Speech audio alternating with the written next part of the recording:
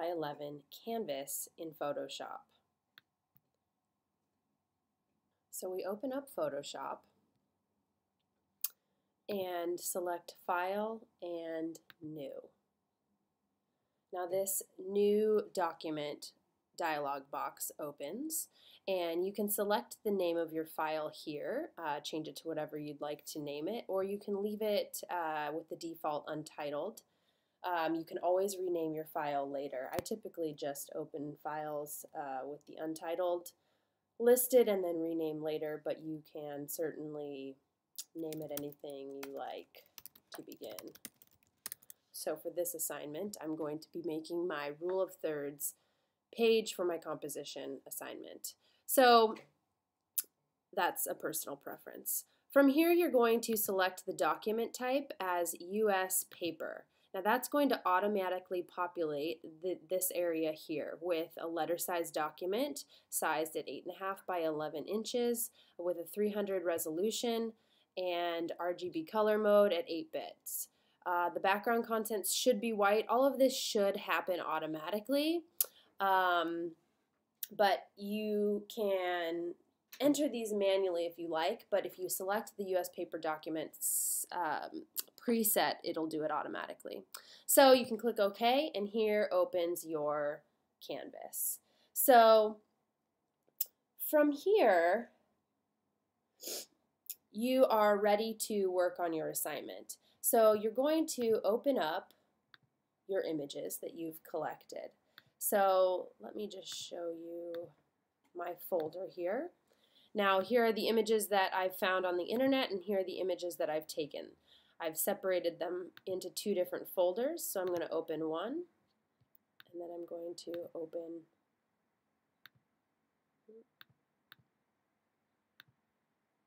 the other. Okay, so I've got two images here to work with.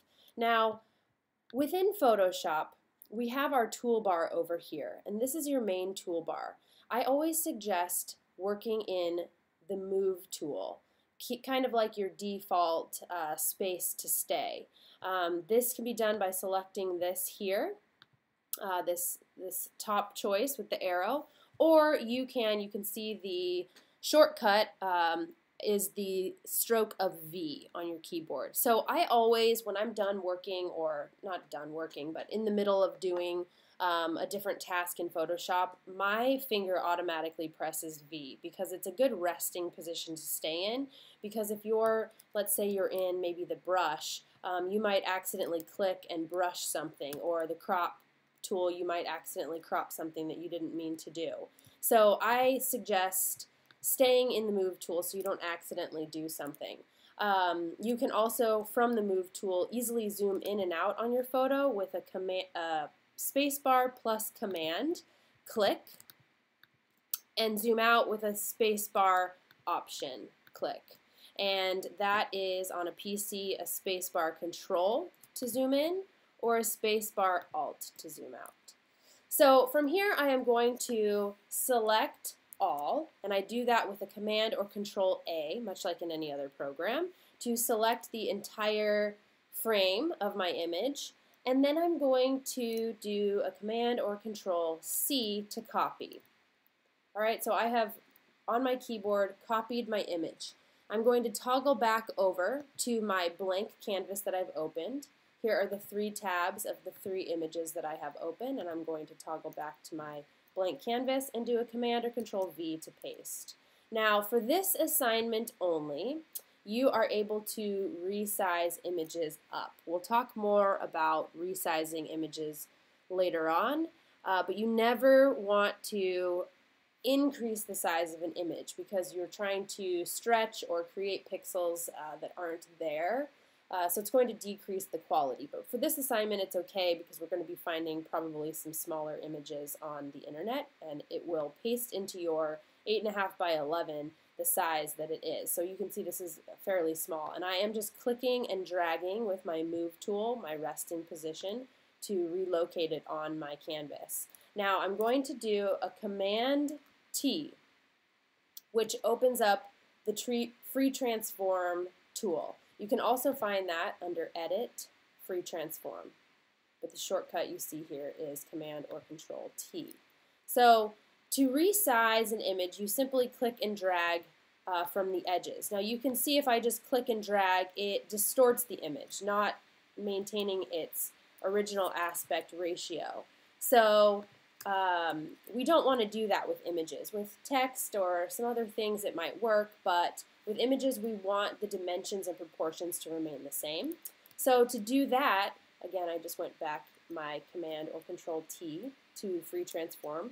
You hold down the Shift key on your keyboard and click from a corner and drag. This keeps your dimensions locked. If you're not holding the Shift key, it will do whatever you drag your mouse to do. So you want to make sure to hold down the Shift key and increase or decrease the size of your image, holding it down the whole time.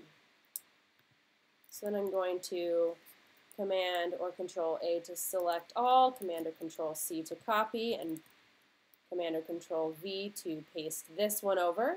Then again, Command or Control T for the free transform tool to resize this guy as well. Holding down the Shift key to maintain the aspect ratio. So here I've got my two images placed. I'm still resting in the Move tool. Now I'm going to switch to the Type tool. Uh, you can click on it here, it's the letter T on your toolbar, or you can also quick stroke into it by typing the letter T on your keyboard. I'm all about shortcuts. So here I am going to type my title. Now you can see that nothing is showing up because the last time I used this type tool, the color was set to white. So you can either select the text that you just typed and recolor it. So here we have our color space. You can choose any color you like on this spectrum. You can also, so any color you select, here is the sample preview. You can also come over here and you notice that there's an eyedropper that your cursor turns into, and that is the color picker. So you can pick a color that already exists in one of your images um, and use that as your font. I kind of like that color. So I'm going to command and enter to seal the typing deal. And then you can always click back on the type to edit it. Command or control enter to secure it. Now this is a little bit small for me, so you can either do one of two things to change your font. You can click it and select all and come back up here to your uh, toolbar, change the font type. Let's go with uh, maybe this one. And change the size like I just showed you. Or um, you can go back to the Move tool. Again, that's a quick stroke of V, or you can come up here and click this. And then I'm going to do the same command or control T to free transform the text. So you can do this as well. All right, now I'm actually going to put this up here. And again, I'm in the Move tool. I'm just clicking on the image and dragging it. Okay, so you want to, um, I'm sorry, Command or Control click on the image that you want to adjust to move it around. The other way to move things around or work on the particular space or layer that you want to work on is by coming over to your layers palette. So here we have the layer of the beach chair, we have the layer of the tree with the tire, and we have the layer of the title. We also have the background layer, which is going to exist in every image that you open. So you always want to have your history palette and your layers palette open. You come up to the window and select them if they're not if they're not visible or if they're not checked. You can find them here and open them up. So you can individually select on the layer to work on it, or you can command or control click within the shot. You can also use your arrows on your keyboard to make minor adjustments to move things as well. Okay, so then I'm going to type my description here of why these do what they do. Period. Um, I'm going to change the font down to 12 because I've typed a lot more than just that, right, in my description. I've fully explained why both of these images represent the rule. Command or Control click to seal the deal. And I'm just about done with the basics of this page. Now, I have suggested for you to explore some more tools. Now, um, this is, you know, essentially fine. This is the basics of what I've asked for for this assignment, but I think we can do better. If you were to be finished, you would want to save your file. And you do that by going to File, Save As, and navigating to where you want to save it. And I recommend saving a working in progress editable file. So I've got a pages in progress folder here as well as a finished pages folder. But your page it, pages in progress, your working file is going to be a Photoshop file. Now that's .psd.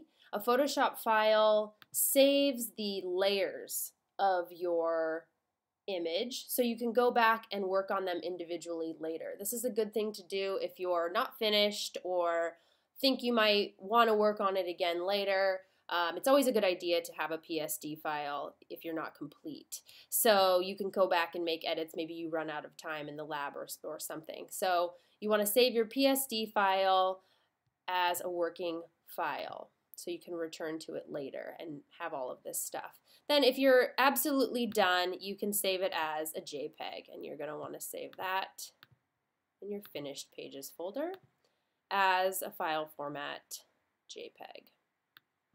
Okay, now that's going to automatically flatten your image and flatten these layers and compress it and make it a smaller file.